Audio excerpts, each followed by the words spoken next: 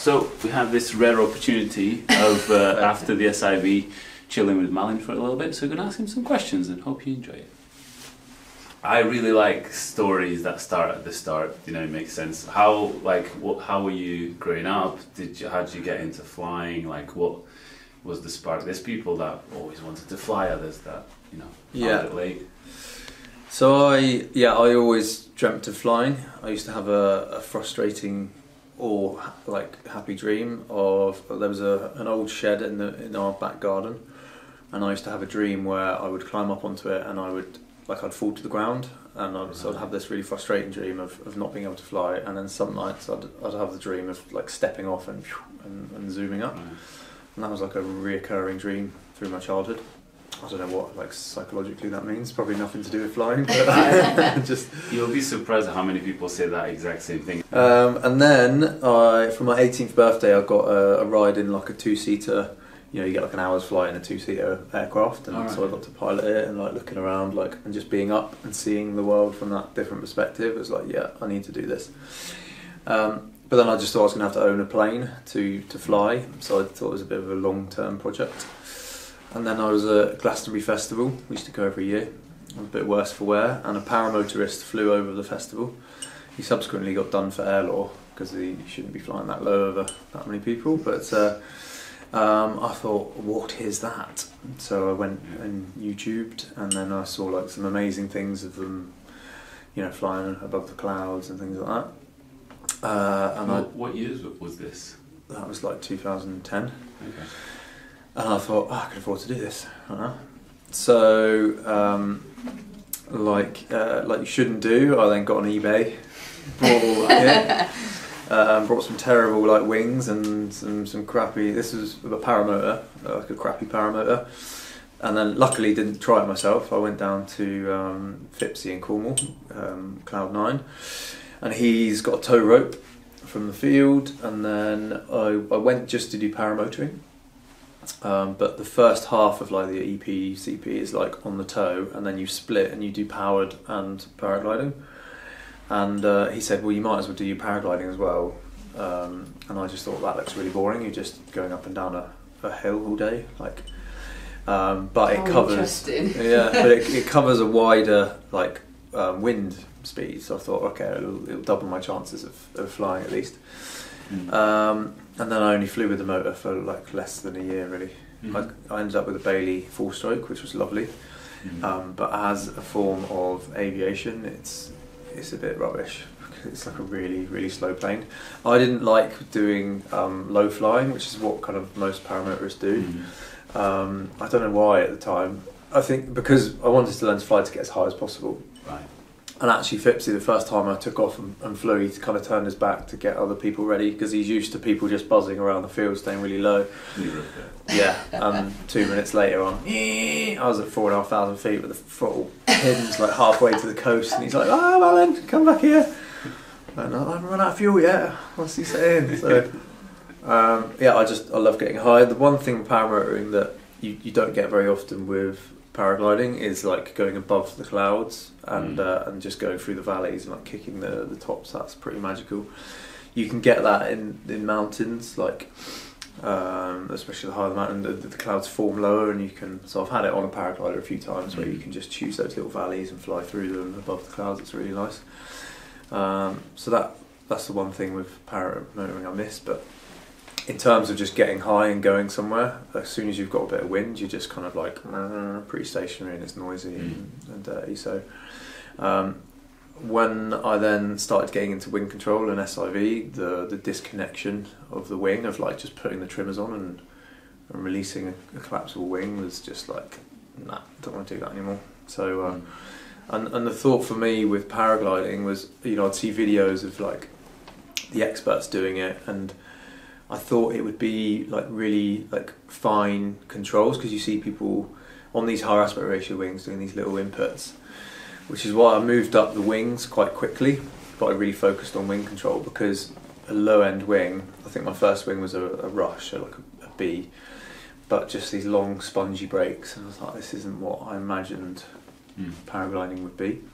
So I wanted to get on the higher performance stuff, and then also I got into comps fairly early.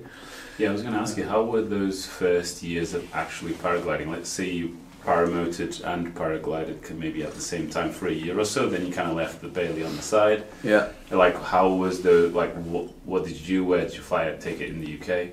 Yeah, so like the UK and um, so Dartmoor, like I'm from Plymouth, so Yeah. way down in the southwest. So Dartmoor, and we've got coastal sites as well. I think I did the, the, the classic, like the first year, I did like 15 hours, which I think in the UK is like 15 to 25 hours is like the average. Yeah. And then the following year, yeah, I think I did about 25. Um, and then, yeah, it just increased from there. But I think I did my first SIV with like eight hours, which was like a lot of exposure, but Ah, not okay. a lot of a lot, of, not a lot of knowledge. How, how did you do that and where did you do it? I did it in Turkey with Jocky, Right. so very different to how we teach. It was like I got to uh, got to taste a bit of everything. Mhm. Um, Is that what bit you? Because for me, the bug that I got in the UK was when I f- went first cross country. Uh, at, I don't know, 20 hours or 50 hours or something like that. And that was like, wow, this is really, can really expand and really stretch my legs here. yeah, Was that first SIV or no, I mean that, what that was, was, it just that did uh, for you? That was like exposure. The, the thing I took from that first SIV was like there was all this hidden energy. It was the first time I'd experienced like a nose down spiral and like, "Phew, I'll come out the other side. What bloody hell? Like, what's that wing just done to me? Mm. So yeah, I think G force was the first thing I took from that. Um, and then I I did a lot of training by myself. I think that's the difference. Like how I moved up wings so quickly was that like I was just as scared as everyone else with wing control, but I did it. You know, so it's not about not being scared. It's about then forcing yourself to do it. So I used It's to go. funny. I was going to ask you that. It said like it seems like you didn't have any fear. You were like straight away when you said, "Oh, I went straight up on like your first paramotor lesson." It feels like No, that I mean that I just wanted to get high and like I kind of I I understand that height is safety. Yeah. So for me, the higher I got, like other than like um, hypoxia, um, Yeah. being high just gives you like loads of time. yeah, So I then I did my next SIV at I think 45 hours here with Fabian, uh, and I was on the the Artik by that point, the ENC, um, and that went well. Um, and then I I signed up to the British Championships, and for that I thought, well, I might as well fly a two liner. So I went back to Turkey and did some training by myself, and I brought the the Peak Three Mm. their their kind of two and a half liner D. And I was training by myself, and my stalls were getting like better, but I didn't realise that the higher aspect ratio was more spinny. So I was really keeping the span open on the stalls and getting this spin every time. And that's why I tell my students, like, if you train by yourself, you need to know what happens when it goes right and wrong, because I was just repeating these mistakes. Mistake, Um, and luckily, I met I met um, Jess Cox from from Fly Sussex, Mm. and she was doing a course with Russ Ogden, and Guy Anderson was there, and um, Russ and Guy kind of became my mentors, and then we eventually set up the the British Paragliding Racing Academy. But he, like, a bit like a stray dog on the beach, like they were like, "What are you doing here by yourself?" I was like, no, just, you know, just doing some training. So like, I, I ended up joining his course. you went over for a fuss. Yeah, I, I'd like made my own collapse lines, and Ross was like, "Well, you know, are they all symmetrical?" I was like, "I didn't really think about that." and uh, so yeah, he's like, "Yeah, yeah, come, come, come here." Yeah. Um, but I'd never, you know, I'd done it progressively. I, I never threw my reserve, um, but I was on. Yes, I was on that wing with like 85, 86 hours. I lied to Russ and said, "No, I've 150 hours," and he still looked at me like, "You doing?" I was like, "I didn't tell you the truth." um, but yeah, again, the, the the course of him went well. I had the free a freestyle wing as well, so we would like. Uh, it was the first time I tr- tried like heli heli stuff, heli training. I went back the following year. Oh, so then I did my first. That that was the training I was doing because I just got the wing Mhm. to then go and do the British Championships, which was down in Italy. And that was just. I like. I love competitions because I get a bit bored flying, um, just cross country. Like I've, I've realised that my my stimulation level needs to be quite high. Shifted. Yeah, um, and actually, it was interesting. Someone said that. Uh, I'll, I'll talk about this in a bit. About this um, this science stuff we're doing with a, a lady called Hannah. She's done a really good thing with um, Gavin McClurg. So she um, is uh, studying vultures. Um, but uh, yeah, with uh, the video she was filming with these studying vultures, we, we basically had to do a do a circuit, and I'm um, listening to music, and I've got my hands off my Enzo like on speed bar, kind of playing with some stuff, and the guy, the other guy in the in the course is like. Like fucking hell, it's not even enough st- stimulation to be flying a comp wing. you're listening to music and you're like playing with stuff. Like, so I think maybe that's um, that is that was an eye opener that it's something that my weakness, like I have to work on because when um, when it gets weak and I'm stuck somewhere for ages, I don't do well because I very quickly get into the the, kind of drowsy and absent-minded mode. Mm. So I think I like that that added stimulation, and comps can give you that because you are flying kind of at the edge of your seat. But uh, it's not necessarily the adrenaline for me in comps; it's the knowing that you could have done better. Mm. Like on any given day, like someone has done it the most efficiently, and if you're behind him, then at some point throughout that You could have done better. 100k, there was something he did better. And when you start flying with the best in the world, you just realise like if you think you're good at climbing and then they outclimb you, they know something that you don't, and that, that is like so. Like how can I get in your mind and figure that out? Um, I, I love that. So the first day of that first comp, I like the start went, and this was like the Enzo one days, and I had that that peak three. So I pushed half bar, and they all pushed full bar, and they just started disappearing off into the into the distance. Um, so then the very next day, I was like, well, it's full bar then. And so it was like my speed just like doubled. I was like, oh, that's, that's it. I've just got to go full bar. Um, and then towards the end of the week, like being able to just like s- at least see the lead gaggle in the distance rather than just disappearing like spaceships. Um, so you can really like I don't know. You can see your progress um, Mm. through comps, and it's just a, it's a it's a kind of cheap guided week as well. Like you get amazing retrieves, um, and you see parts of a place that you wouldn't normally see. Like if this was your first time to Annecy, you might do the Petit Tour, but you're not going to jump over the back into the bigger mountains. It's like, oh, what's behind there? And I don't know the valley winds. But if you come here for a comp and they set a turn point there, Yeah. you're going there and you're going there with 100 people. So like people get low and you're like, oh, I don't want to go there. And you know, they kind of map all the air Mm. and then you see so much more of a of a region. Um, so I love it, and then you kind of get to know people in the comp scene, and uh, you get this little community Yeah. going. So that's kind of really, I don't know, that's kind of the, the, the course of my of my flying really. Sounds um, sounds very reminiscent of other people that uh, were like quite on it straight away and got had a very like steep progression, kind Mm. of driven by like just wanting to do stuff and tr- try stuff. Yeah, So so so you still do comps. Uh, you still put plan your, your flying agenda very much around comps. yeah, But at some point, it sounds like you have a bit of two loves, like competition flying and also acro and SIV and all that stuff. So where where did you, you know, after you maybe first or second comp, like you're saying, and realizing that you can learn a lot and you can pit, put yourself against other people, when did you start going more into the, you know, your fourth, your fifth SIV, or maybe even um, talking to Fabian? yeah. Uh, I mean, that was years later. So what happened then? I did an SIV here. Uh, so I did some with Russ after that training, and then I just started. I got kind of good enough to just start training by myself rather than doing specific courses. Um, and then, like, I made so many mistakes in my comp career because I I got on to comp wings then pretty fast. So um, I can't remember. Like, I had about 150 hours when I was flying the, the full-on triple C wings, and only now after an, another over a thousand hours on them, I realise how inefficiently I've been flying them Mm. because they yeah i don't know i think if you take a thousand hours to get on one you've learned like everything about pitch and roll and um, all the little in- intricacies of flying whereas i was still quite like even though my i could do i could do things like in the box that most other people can't do on two liners Mm. i was still not a very good cross country pilot in a way two diff- being safe and being fast are two very different Two things. very different things, yeah. So like my, I have not had a, a meteoric rise in um, uh, in comps because I would always choose to get on the highest level comp I could to try and see how the best do it.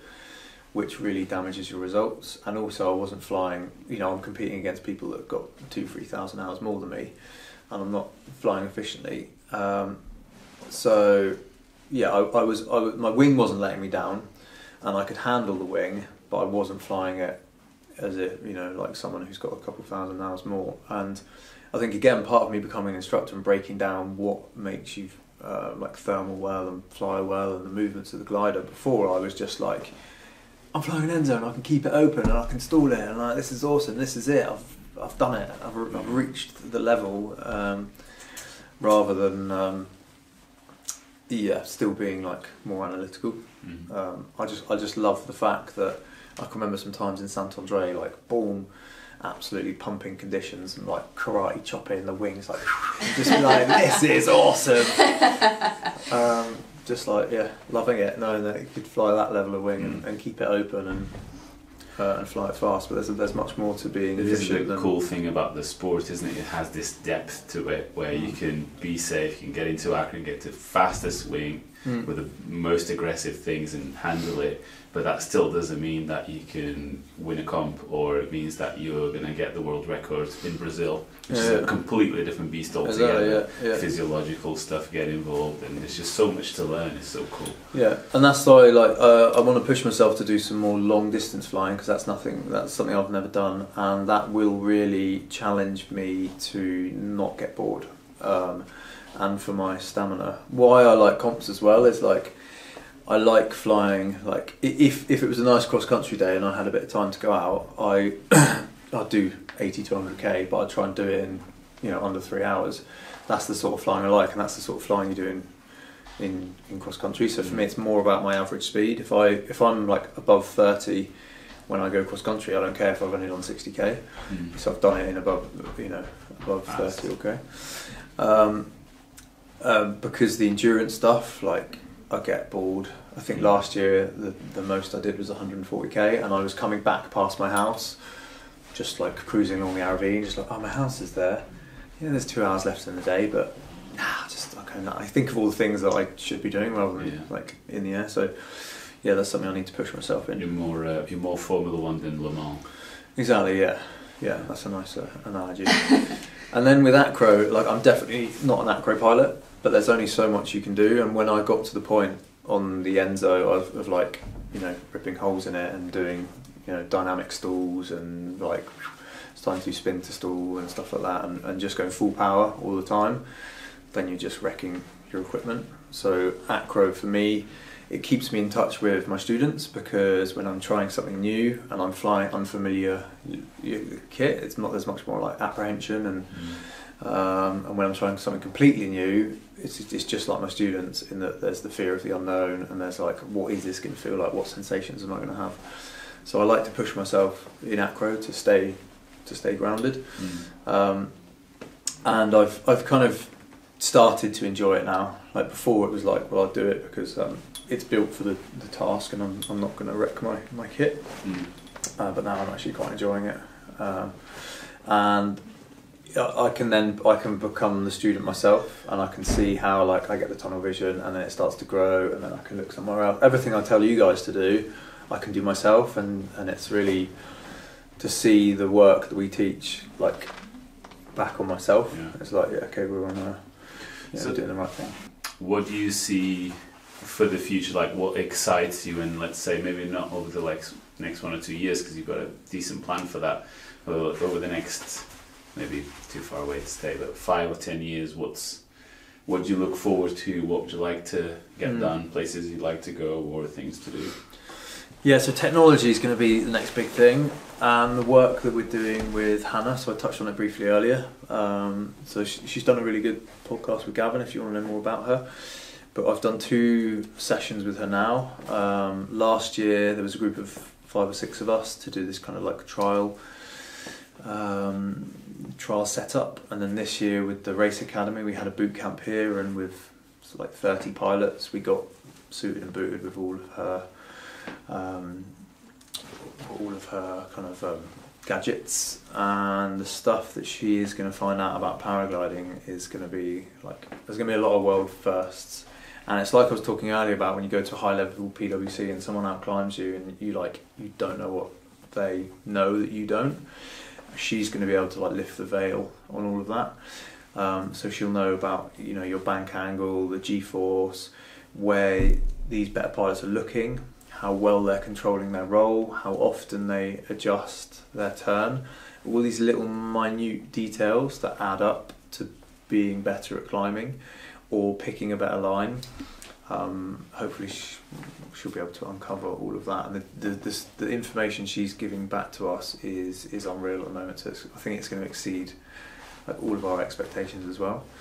In terms of SIV instructing, um, I would like anyone watching this that's that's good at VR and all that sort of stuff, then get in touch because I think the the VR side of things um, would massively help because basically SIV is you know simulation to incident on vol, so simulating flight incidents. But even though it's a simulation over the lake, there is G-force and there's fear. If you can have a simulation of the simulation of the real life events, you you take the fear away The fear that Um, blinds people. Exactly, yeah. So they can at least then start to, because I mean, you know how long it took you about the roll and the, we talk about the exit window and all that sort of stuff. You're dealing with that in a dynamic situation. It's a bit more difficult. So if that could be done classroom based first of all, so you understand that okay, when I'm in a rotation, I'm going to get this roll and this is how I stop it. Then you've got that base uh, with the fear subtracted to then go and do it in a dynamic situation. Mhm. To then, if it happens, you know you deal with it. So that's where I'd like to see the the next progression. We're going to have an interesting chat after this. Uh, good, good. Um, yeah, because I, I looked at these kind of six-axis like platforms, and they're quite expensive. I think it'd be worth it, but you'd have to set up a, a stiff, um, you know, thing so to actually turn. That that could help. But even just sitting here, the thing is, I was just about to say, even this setup that you've got going on now, like Yeah. the, the classroom might look like this Is in, that- a, in a couple of years' time, where everyone's sat in their own little. Yeah, Uh, even just be able to do, you know, to do something. Uh, the, the thing is, if it's not moving, or what your eyes are seeing, it could make people sick pretty quickly. So it'd be good to get all the movements and that down as well. Um, but that would be amazing to do like a little classroom based stuff and then go and do it, just because Mm. it would, yeah, people would understand the movements much more, Yeah. um, and it would accelerate their learning for sure. Um, so then with our like the software before the course, where there's like there'll be tens of hours of learning, and then coming and doing the simulation, then doing it.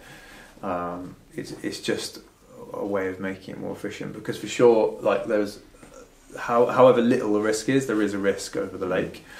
Uh, you might end up throwing your reserve or whatever. So the more you can understand when you're in that box, and also the, the more you understand, the less fear there is. So actually, the more you're in the learning mode. Then just the more you'll get out of the course. So Yeah. that's what I'd like to see in the.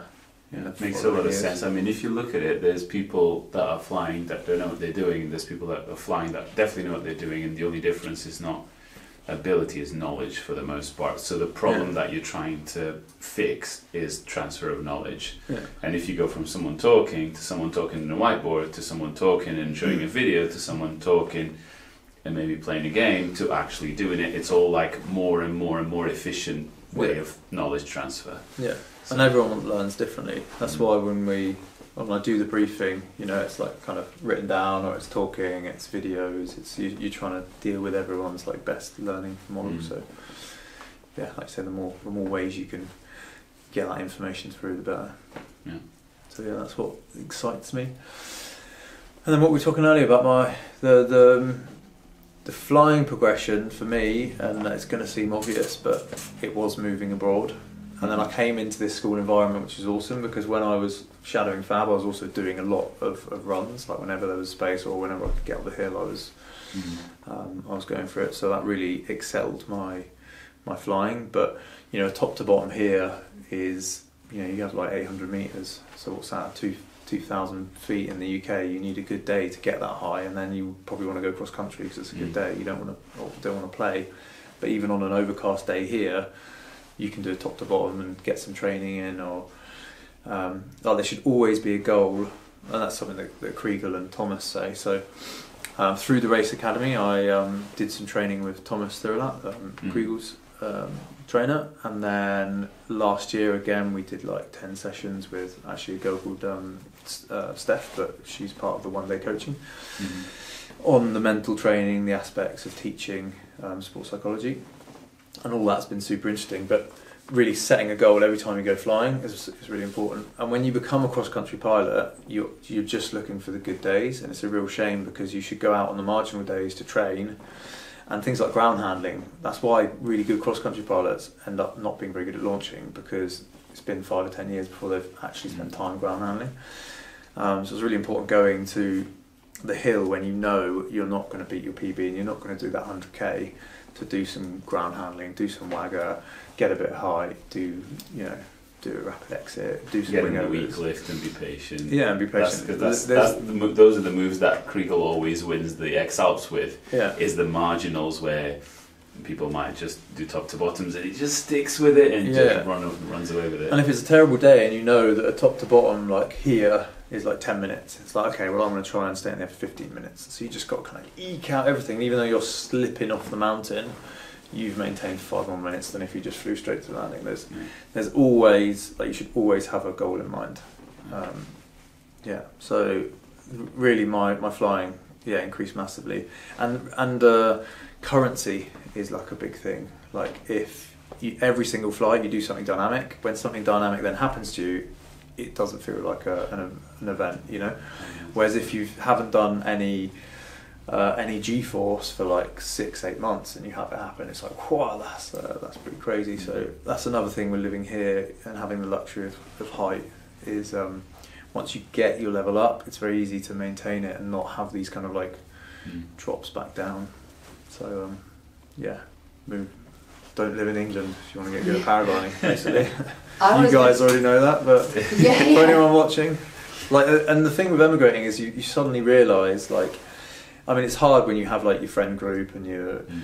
and everything, but then when you move abroad and you realise that actually, if you were like born nowhere and you had to like look on a map for the best like place to live, I mean, we'd all all probably live in Barbados, but you know, you, you wouldn't look at You the wouldn't. UK and be like, I want to live there and paraglide. It's like a Yeah. terrible idea. So, yeah, if if ultimately you want to get good, and that's a reason why I don't do other sports as well, because I kind of made a choice that if I was going to get good at paragliding, it had to be my my full full attention. Mm. I think before kids and, and marriage, I would have probably done base jumping and, and not been here.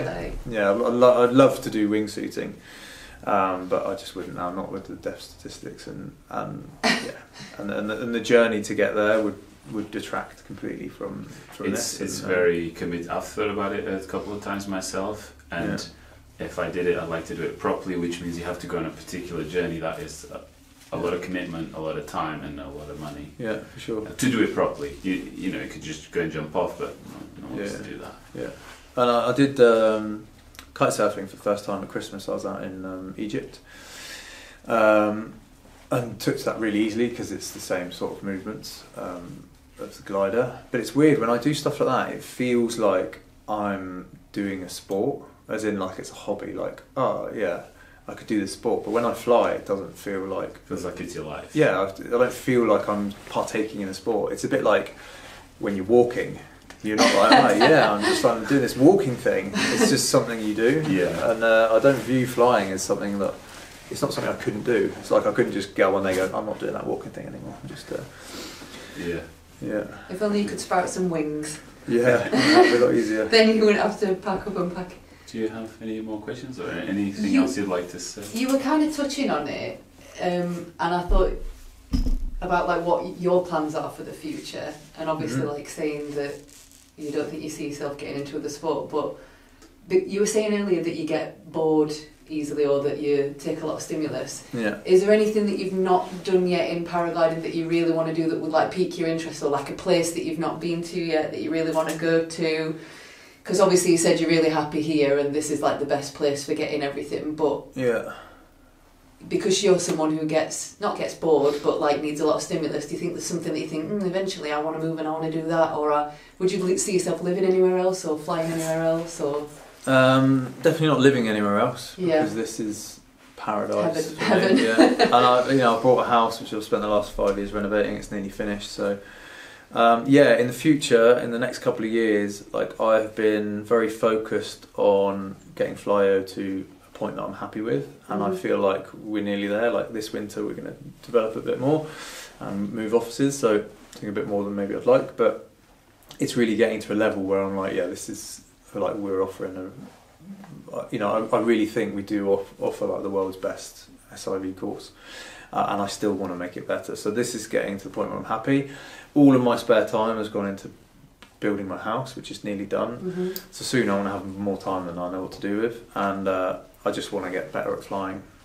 Um, uh, acro I've done as a way of, like I said before, uh, it's just been a little thing to, to progress me more, but I'd like to focus a bit more on that. And then I've always been quite, with my competitions, like just focusing on the goals rather than the, the, the, feeling of it. So, um, you know, I got on the British team, which was like a goal, and I think I've been selected three times for that now. Um, so then there is more performance goals of getting into the, the worlds on the team. Um, but I would always fly like a slightly bigger wing with loads of ballast, and there is there's things that take away the enjoyment and Mm. you know enjoyment you get. Um, so now I actually want some, like I was thinking of changing my harness from the fully heavy comp harness to one a bit lighter, so I can do more cross country with it because You're not tempted by the submarine?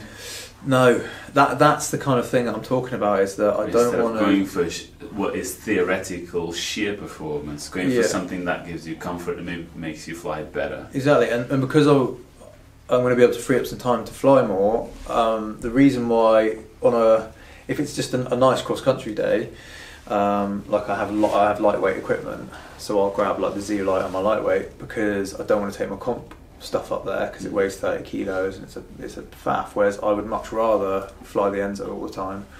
So I just want kit that's going to make me want to grab it and, and go flying rather than kit. It's like, oh god, I've got to like try and waddle off launch with. Like when I was flying the medium Enzo, it was, it was 40 kilos above my above my naked weight, which Mm. kind of detracts from the fun of it. Mm. So I can see now basically personal development in my flying because I Mhm. can see massive improvements I can make um, in my in my comp flying, in my acro flying that I've not had the time to be you know consistent with. hmm Um, and then I want to do some online videos as well. Um, that I think is going to be the big next step as well.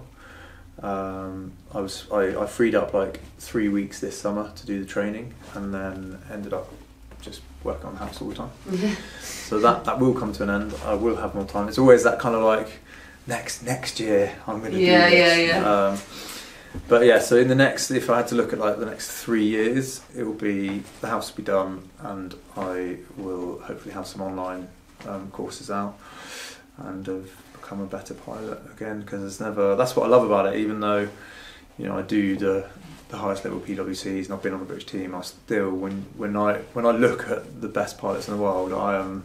I've just like maybe got my foot in the door, Yeah. or I'm fumbling for the keys. I'm not even opened the door yet. So there's always deals. someone there's some yeah there's always someone above you that you can learn from um, so that's where I'm at at the moment and acro I've got no great ambitions to you know do the the, the stuff that the, the, the highest level things that the guys are doing now is like insane and it's not it's not that practical for me like I'm not interested in twisted things or anything but just to be um, doing acro stress free is very different to when I do acro now because I dip in and out of it Mm. it's always like I'm I'm just kind of like trying to get that vision back, and it's all a bit uh, a bit stressful uh, to do some of the things I haven't done for a long time. So just to be uh, um, yeah a bit more consistent with that sort of flying as well.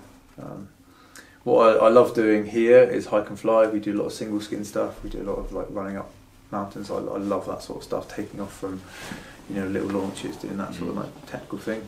Um, so yeah, that's it. Do I know that this is a long time away because your kids are still young? Do you think your kids will ever get into paragliding? And would you be? flying with them? I don't know. Yeah, I've been flying ever since like, well, I think their first flight was at like two and a half. Um, Really?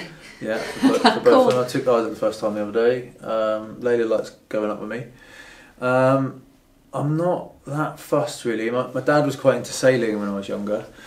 and it put me off because I was just always on a, on a boat. I was a skinny little kid and never had a decent wetsuit, and I was just getting splashed like this shit. Um, you know, paragliding. If It can go My- one way or the other. You Yeah. can either really encourage them into it or really discourage them. yeah, also it's it's not a good sport to be bad at. That's my Yeah. um, my favourite saying with it, and you know there there are like risks to it. So I think it's important that they do a sport, and that I mean it gives you kind of like a purpose. So whether it's paragliding or gymnastics or whatever, hmm I hope they they find uh, a hobby that they they love enough that it just becomes not a hobby like something that they need to do. Yeah, I don't really care if it's paragliding or something else.